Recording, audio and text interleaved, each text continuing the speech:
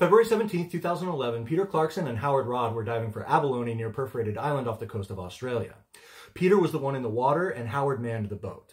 Just 10 minutes after Peter got in the water, Howard saw something strange, and that was about 100 meters away, there's this uncontrollable explosion plume of bubbles coming up to the surface, indicating that maybe Peter was in some trouble. And then just shortly after, Peter himself comes bobbing up to the surface, and Howard thinks he can see some blood in the water. So he revs up the boat, rushes over to Peter, and when he gets alongside him, sure enough, he's in a pool of blood. He's bleeding from some kind of wound, and he's bleeding from his mouth.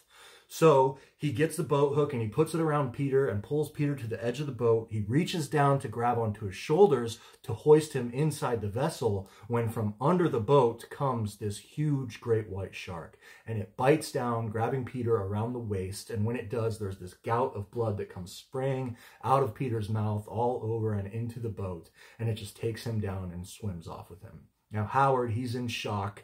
He just begins driving the boat around for several hours looking for any sign of Peter.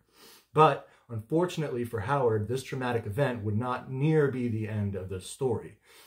You see, people in town and authorities started to ask some pretty serious questions. Questions like why Howard did not mark the specific location of the attack on his emergency GPS system, which was just the push of a button.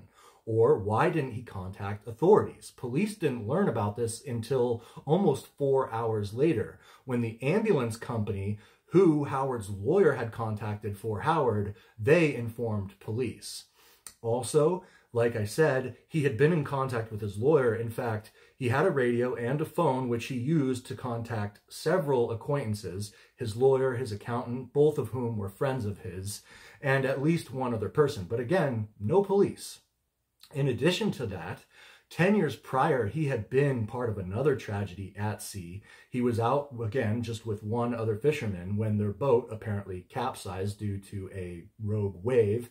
And he decided to swim 15 hours into shore, where the other man named Danny decided to stay with the boat because he was apparently afraid of sharks. And no sign of him was ever found, just as no sign of Peter Clarkson was ever found. But fishing is a dangerous job.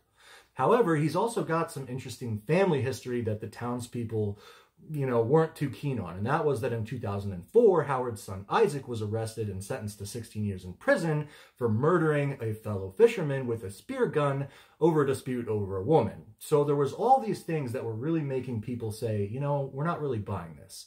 I personally have no reason to disbelieve Howard's version of events, so I'm not trying to besmirch him at all.